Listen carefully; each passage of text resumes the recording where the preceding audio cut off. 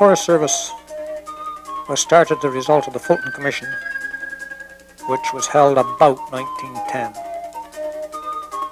It, by the way, recommended the Forest Service along military lines. The Forest Service started in 1912, and I would say probably 50% of its members enlisted in the First War. So it had a little of a setback. It was formed into about 10 districts under the head office in Victoria, and each district was in ranger districts. As a result of the commission, and primarily Grainger, who was its secretary, and is considered the father of the Forest Service. In 1914 it was started, and at that time H.R. Macmillan, who was an agricultural graduate who had taken forestry at Yale, and had some previous experience in cruising in connection with what later became the Powell River Company, he was its first chief forester. Well, I can't actually say what the mandate was, but it came out to the fact, one, protection, which was always given a high priority, and the orderly liquidation of a, a virgin forest. But we always knew that we would have to, to start with second growth, and we did start planning that. We went on the principle that we could depend on uh, natural regeneration for approximately half the logging. We also knew that we had to know what resources had, so we started what eventually became the Inventory Division. That was started in the in a very embryonic way, even before the First War, because they had um, foresters go with exploration parties and report on forests. By the mid-20s, that had gone into a much more formal thing in which we were taking areas of land, making them into forests, and systematically surveying them by a rather poor statistical method. Uh, we ran lines roughly a mile apart across the contours and, and took samples. It was fairly crude, but it, was, it gave a fairly good opinion. Around about 28, 29, we started the first nursery. The first really big nursery was at Green Timbers. First main planting that I remember anyway. On Thurlow Island in 1932. There was a previous one in uh, Campbell River. In 32 I was on it actually. And by the way, the meal costs at that time were 23 cents a meal, so you can see the times have changed.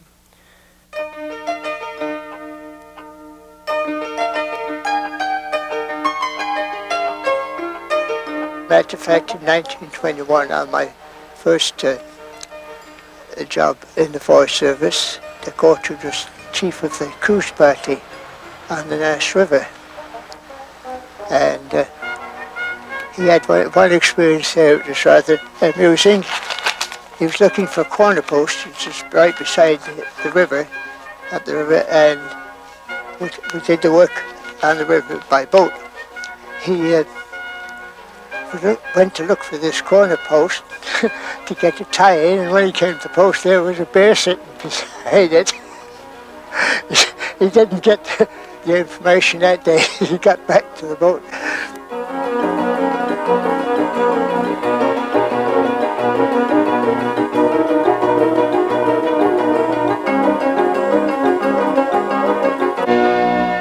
Before 1930, they had started to use power saws, not so much for cutting standing trees down, but for cutting fallen trees into logs the right length. Don't think I ever remember chainsaws till after the war, but maybe they started before that. It was mostly hand cutting. And you know, on the old stumps out in the bush, you see those notches where the men put um, planks in to stand on so they get up above the butt swell of the tree. And the saws would be nine or ten feet long. So they put the undercut and then chop out the notch with axes. Then go around to the back of the tree and saw from there and maybe put a wedge in. And pretty soon the tree would start to go the direction they wanted to. I, I don't remember any chainsaws in the pre-1930 years. They might have started to come in later. It was all animal power or muscular power in those first days.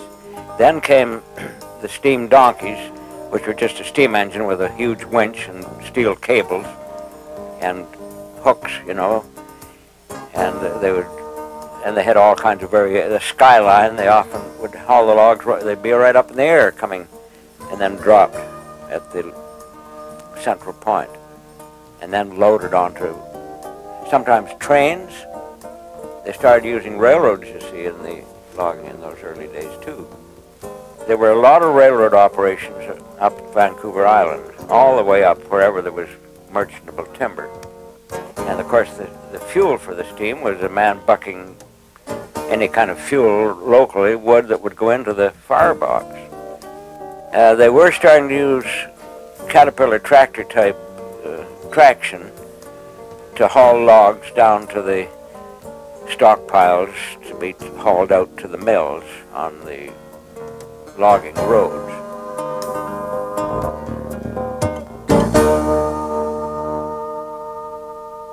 It just happened that I began to pioneer this use of aerial photography, air photos, and it grew and grew.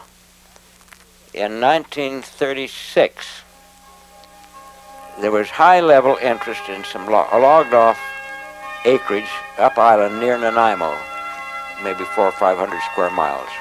So my boss, Fred Mulholland, came to me and said, Jerry, are there any air photos of this tract? We could get the answers. There weren't any. Okay.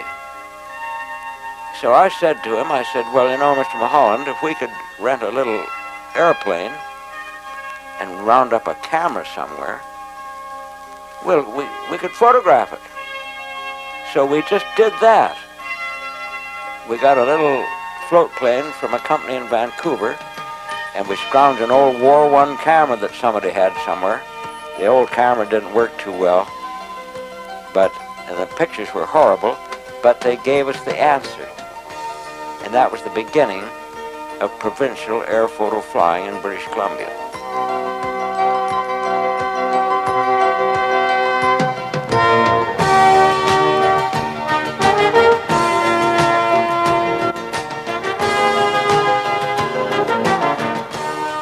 Jerry pioneered in the use of air photos in um, survey work, and by the end of the 30s, we were taking photographs all over the place. After the war, when Jerry came back, that was taken over by the Lands branch, who formed a Air Surveys Division, in which um, Mr. Andrews, Lieutenant Colonel Andrews, was in charge. And from there on, I don't think we ever did any survey where we didn't have preliminary air photos which showed you the types, where they were, and everything else. Well, my name is Jack Long, and I was born in Vancouver in the year 1912, the same year that the Forest Service was started in British Columbia. Whether or not there's any connection, I really don't know. I was uh, hired under a, a, youth program. It was called the Young Man's Forestry Training Program, uh, in which they, uh, they took uh, young fellows from about 16 to early 20s actually, and gave them work in the forest. Many of them had never really held down a job in their lives before and uh, didn't know anything about swinging an axe or using a saw or even uh, a shovel. it's a, a wonderful experience for young fellows. I was on the job at the Elk Falls Park in the winter of 37 and 38 where we planted some trees. Uh, the big fire of 1938 burned those 50,000 trees that we planted that winter. And uh, after that fire, it was realized that Green Timbers, which was the only nursery at that time, would uh, not be able to supply enough trees to plant these some 60,000 acres. And it was decided to put in a nursery at Campbell River, which would be adjacent to the fire, which, you know, was in itself uh, quite an important factor.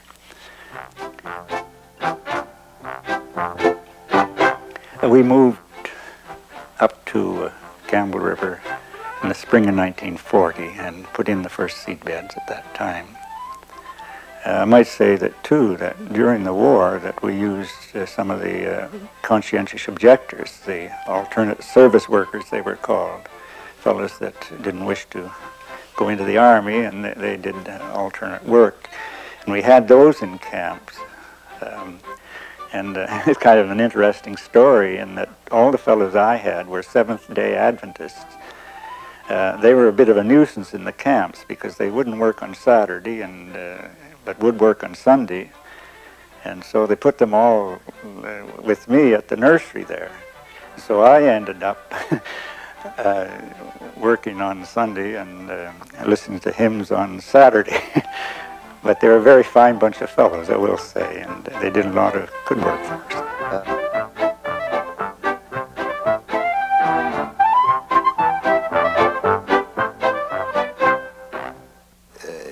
Depression years, the uh, uh, in the early uh, stages, there was a tremendous cutbacks. In fact, uh, in some years, they didn't even uh, fight forest fires, and uh, a lot of people think that we came out of the depression because of the Second World War, but I think we really started out of it when the decision was made to start programs such as the YFTP. First job was in 1938 on the Youth Forestry Training Program. This was at the uh, tail end of the Depression. About this time, the decision was made to put people to work, and so uh, they started the forestry program with a dollar a day and your your expenses, and that got me started in forestry. The backbone of the Forest Service those years was the Forest Ranger.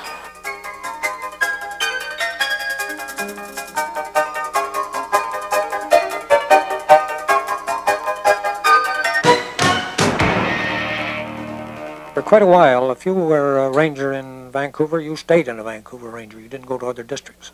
We changed that later. And one of the big changes of that, actually, was the ranger school. Some of our old-time rangers were excellent rangers, but they learned it on the job. They were good bushmen, possibly better than some of the ranger school graduates. And they were good firefighters. But one of the finest uh, men I knew as a field man was one of the rottenest note takers, uh, note makers I ever met. You couldn't understand his reports, but he knew his job. And the ranger school changed that. And it also had the effect that rangers did have a son.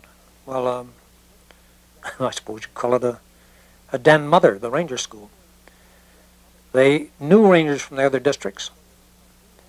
They had the same course of instruction. It was, I think, it, uh, it added to morale. We went to uh, uh, Prince George in 1956, and uh, this was at the time when uh, there was tremendous uh, transitions in forestry in the interior of the province.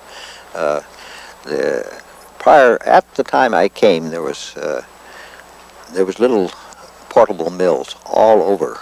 Well, those have all disappeared now. I guess what started it was the expansion of the pulp industry to the interior of the province, and as to eventually in the next uh, few years after I was there, two pulp mills were established in Prince George, two in the Nelson Forest District and one in the Kamloops, and there hadn't been any in the interior before this, and this changed the whole concept of forestry. And uh, this small wood, that the uh, the interior wood had always been considered small wood, unus- uh, not usable, and uh, it now became valuable for pulp. And later, as as milling techniques improved, it became very valuable for lumber, particularly the uh, uh, the white spruce and the lodgepole pine.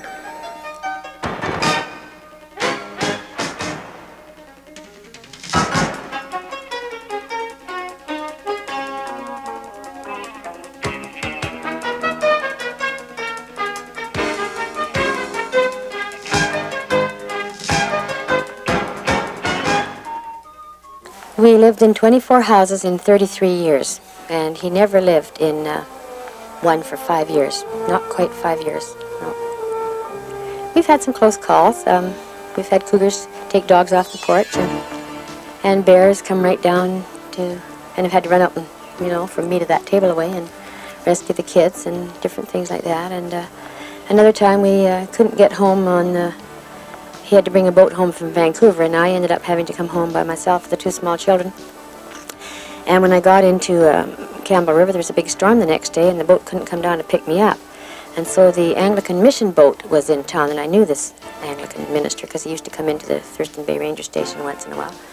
And he had a big boat. He says, Well, I can get you up to a certain area if the other fellow can come down to meet you, because it, it turned out that the forestry fellows at Campbell River had come down to tell me that they weren't going to be able to take me home by the boat, and I didn't know what I was going to do, because, you know, you didn't have too much money in those days. So anyways, he arranged to take me, and it was really very rough, and um, when we finally met this fellow at this more or less calmer area, this bit of an inlet, um, it was on the old Oliver Clark he was on, and uh, I said, well, how in the world are we ever going to get over to that boat that was so rough? And he said, you're just going to have to throw those kids to me, Hazel. I said, I can't throw them. You'll never catch them. He says, I'll catch them. So this um, minister came up and he says, well, you hold the boat. He says, you steer the boat. And he says, I'll toss these children. Well, of course, my heart was in my mouth. And the one baby was 10 months old and the other was about two and a half. And he tossed them over and this guy caught them. And and then, of course, I had to jump over too, and we had about another three-yard drive. And in this boat, this little, I think it was about 30 feet. The Oliver Clark, it was an old, old forestry boat, and, uh, we got back. But, you know, I was pretty near sick from that. And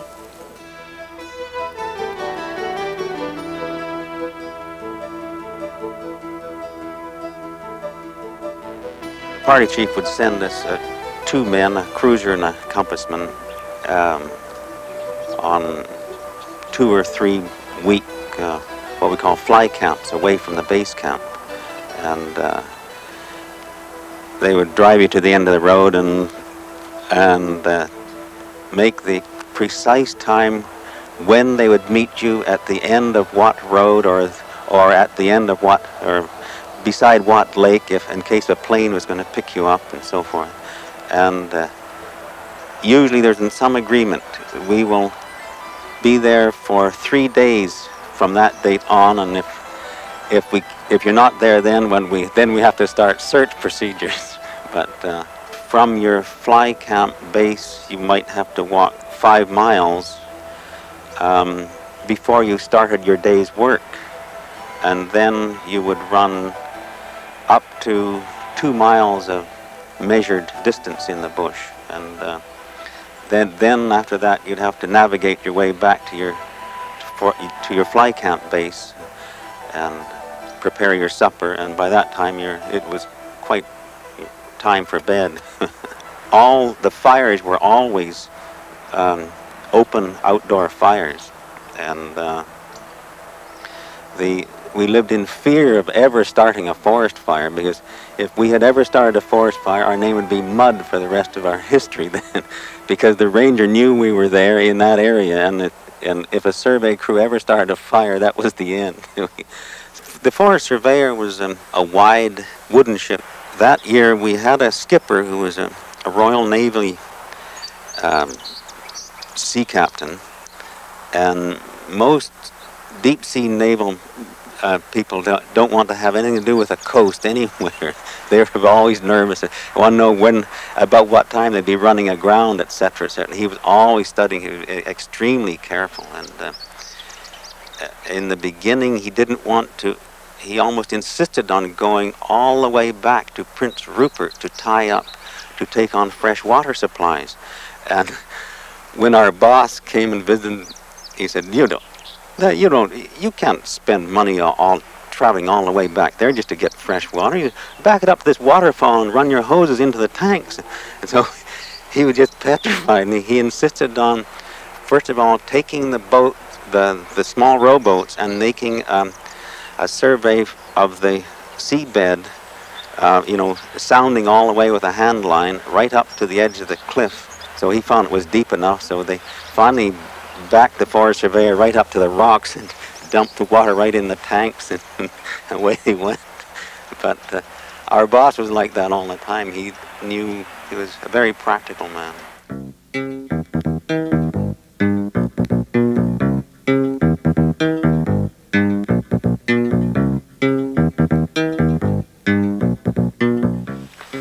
Name is Don Adams and I started with the uh, British Columbia Forest Service in uh, 1953. But my job was to put somebody on the boat that knew how to run it, mainly for taking crew out in the morning. Like usually they, they worked out of a, what they called a fly camp. And uh, you loaded the crew on the boat and took them out maybe five or six miles up the river, sometimes three miles. Sometimes you just crossed the river with them. And then you uh, went back and picked them up. The rivers change from year to year. And uh, although the, uh, the course stays the same, the uh, river channels change. And some of the ones up the coast, uh, we just uh, scrutinized them from air photographs, and sometimes we flew over them in a light plane or a helicopter and uh, figured out whether they were feasible to run or not, and then you tried them out. Sometimes you had to clear a log jam out or sweepers across the river.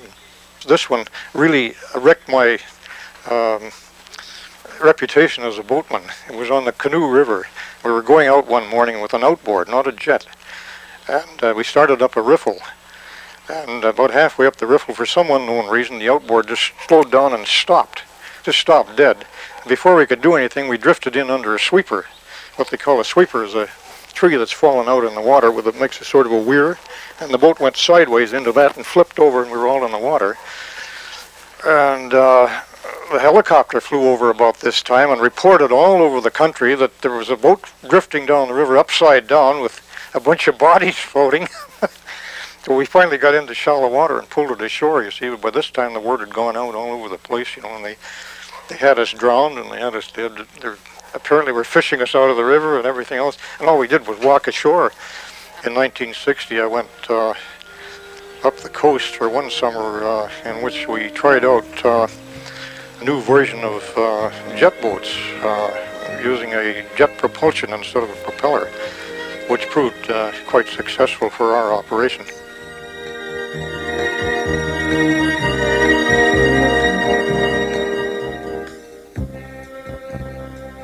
Um, my experience in firefighting is primarily interior. And uh, it was pick and shovel. Then later, we used tractors. We did use planes as early as the 20s, but that was mostly for reconnaissance and transportation of crews. In the 40s, they used them for crew transportation, and they did quite a bit of parachuting of supplies. Supply, supplying a remote fire, crew is pretty ticklish business. You can do it with parachutes quite well. About 1962, we started using water bombers, and they are one of the main ways we do it now.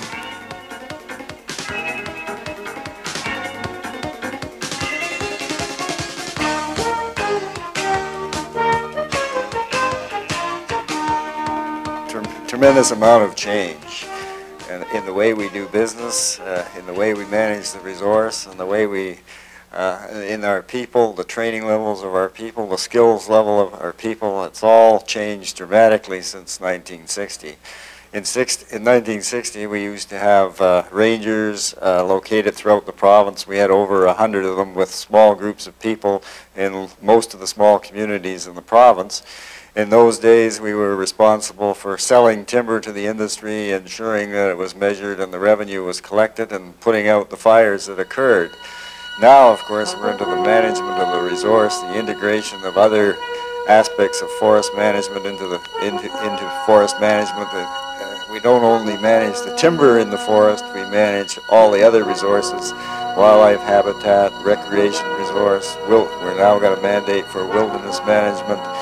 Uh, it's much more complex, much more skill levels are required. But we, but in the 60s, we, we had some very resourceful people who did an excellent job giving the resources and the level of management that we were at in those days.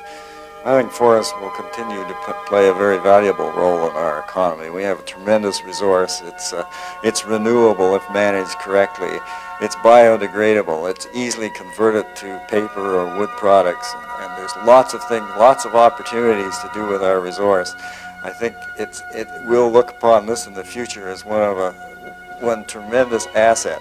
I wish I could be around in a hundred years to see to see all the changes that will take place. But there will be many changes, and I'm sure all of them will relate to a more sophisticated level of management, a higher realization of the importance of our forest, highly prized assets. And we uh, in British Columbia will are, are very well blessed with a tremendous forest resource.